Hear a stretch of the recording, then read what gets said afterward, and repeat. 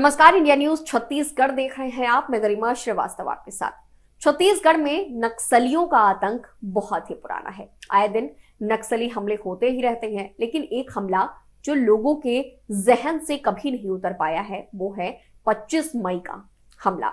25 मई 2013 को नक्सलियों की तरफ़ से घात लगाकर किए गए हमले में कांग्रेस एक पीढ़ी के नेताओं को समाप्त कर दिया था। इस घटना में कांग्रेस के तत्कालीन प्रदेश अध्यक्ष नंद कुमार पटेल, उनके बेटे दिनेश पटेल, पूर्व केंद्रीय मंत्री विद्याचरण शुक्ल, बस्तर टाइगर कहे जाने वाले पूर्व नेता प्रतिपक्ष महेंद्र कर्मा, कांग्रेसी नेता उदय मुदलियार समेत कुल 32 लोगों की मौत हो गई थी। तब से 25 मई को छत्तीसगढ़ कांग्रेस की तरफ़ से काला दिवस के रूप में मनाया जाता है।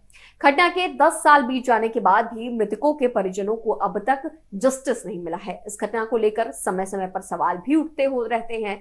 आज वही 25 मई है, यानी कि वही काला दिन। दरअसल 25 मई 2013 को सुकमा में परिवर्तन यात्रा की सभा कर लौट रहे कांग्रेसियों के काफिले पर झीरम घाटी में शाम करीब साढ़े चार बजे नक्सलियों ने हमला किया था। पहले से ही घात लगाकर बैठे नक्सलियों ने काफिले की वहाँ पहुँचते ही बारूदी सुरंग में विस्फोट कर दिया, जिसके बाद करीब 200 से 300 की संख्या में मौजूद नक्सलियों ने काफिले पर ताबड़तोड़ फायरिंग शुरू कर दी। करीब 15 मिनट तक नक्सलियों ने काफिले पर पहाड़ियों के दोनों तरफ़ से गोलियाँ बरसानी शुरू कर दी। इस हमले में कई लोगों की मौके पर ही मौत हो गई थी। खास बात यह है कि नक्सलियों ने घटना के वक्त सबसे पहले काफिले के जिस गाड़ी को बारूदी सुरंग विस्फोट कर उड़ाया था, उस गाड़ी के अवशेष आज भी घटनास्थल पर मौजूद हैं।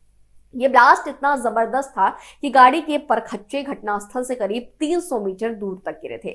नक्सलियों ने काफिले पर ताबड़तोड़ फायरिंग के बाद सभी कांग्रेस के सभी नेताओं से सरेंडर करने को कहा। काफिले में मौजूद कांग्रेस नेता और बस्तर टाइगर के नाम से मशहूर महेंद्र कर्मा ने नक्सलियों के सामने अपने दोनों हाथों को उठाकर सरेंडर कर दिया। महेंद्र कर्मा ने अपने साथियों को नक्सलियों से छोड़ देने की अपील की, लेकिन नक्सलियों की क्रूरता के सामने उनकी एक भी न चली। मुख्य मार्ग से करीब सौ मीटर की दूरी दूरी पर ले जाकर नक्सलियों ने उनके शरीर पर सत्तर बार धारदार हथियार से वारदात को अंजाम दिया।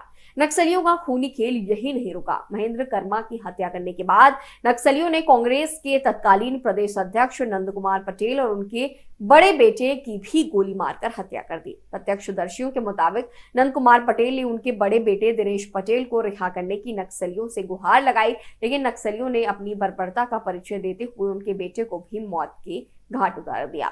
घटना के करीब 12 घंटे बीत जाने के बाद पुलिस ने मुख्य मार्ग से करीब 200 मीटर की दूरी पर नंदकुमार पटेल और उनके बेटे दोनों के ही शवों को बरामद किया। श्रीराम घाटी नक्सली हमले में 24 कांग्रेसी नेताओं और कार्यकर्ताओं समेत जवान और आम आदमी भी मारे गए थे। श्रीराम घाटी में हुए नक्सली हमले के बाद सुरक्षा के लिहाज से जगदलपुर आने वाले मार्ग में घटनास्थल से करीब 200 मीटर की दूरी पर सीआरपीएफ कैंप स्थापित किया गया।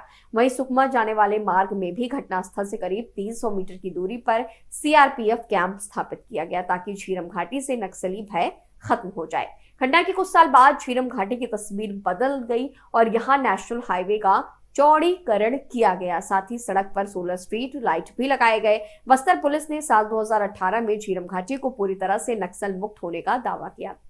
दस सालों से भले ही झीरम घाटी की तस्वीर बदल गई है, लेकिन इस घटना को लेकर देश की सबसे बड़ी जाँच एजेंसी एनआईए, छत्तीसगढ़ न्यायिक जाँच आयोग और एसआईटी स्पेशल इन्वेस्टिगेशन टीम समेत तीन एजेंसी घटना की जाँच कर रही हैं, लेकिन अभी तक इस घटना की जाँच पूरी नहीं हुई है।